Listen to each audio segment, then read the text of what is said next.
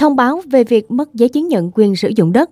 Ủy ban Nhân dân xã Tân Phong thông báo về việc mất giấy chứng nhận quyền sử dụng đất của ông Nguyễn Hữu Tài, sinh năm 1963, và vợ là bà Huỳnh Xuân Hồng, sinh năm 1962, thường trú tại ấp Đông Dài, xã Tân Phong, huyện Tân Biên, tỉnh Tây Ninh.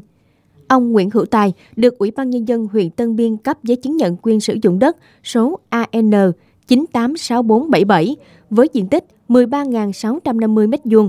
thửa đất số 287, tờ bản đồ số 7A, tọa lạc tại ấp Đồng Dài, xã Tân Phong, huyện Tân Biên, tỉnh Tây Ninh.